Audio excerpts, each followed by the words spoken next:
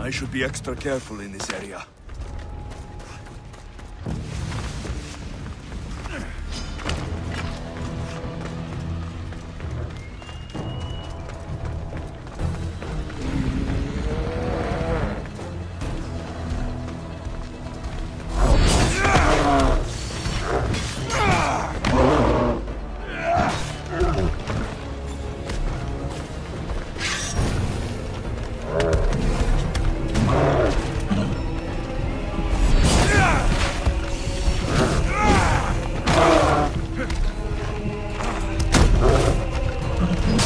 Come on.